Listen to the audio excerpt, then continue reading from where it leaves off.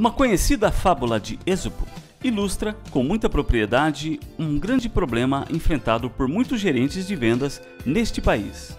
Conta a história que um homem e seu filho iam ao mercado conduzindo seu burro. Como estavam todos andando, um camponês que passou por eles gritou: Será que vocês são tolos? Para que serve este burro, se não para ser cavalgado? O homem mandou seu filho subir no burro, mas logo cruzaram com um grupo de homens e um deles observou: Olhem para este jovem preguiçoso, deixa seu pai ir a pé enquanto aproveita o burro. O homem mandou seu filho descer e ele mesmo montou nas costas do burro. Breve passaram por duas mulheres e ouviram uma delas dizer à outra: Vergonha sobre este rústico que deixa seu pequeno filho ir a pé enquanto aproveita o burro. O homem e seu filho não mais sabiam o que fazer. Finalmente, subiram ambos nas costas do animal.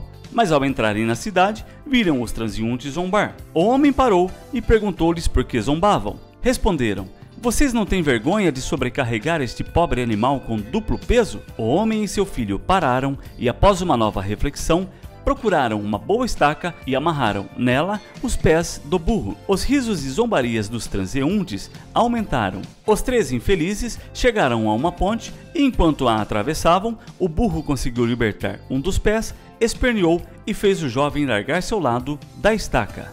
Na confusão que se seguiu, o burro caiu no rio e, tendo os pés amarrados, morreu afogado. Bem feito, disse-lhes um velho que a tudo observava.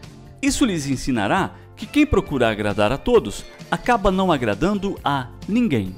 Gerentes de vendas devem sustentar seus pontos de vistas e princípios profissionais que acreditam serem corretos perante suas equipes de vendas, mesmo que isto possa desagradar a alguns.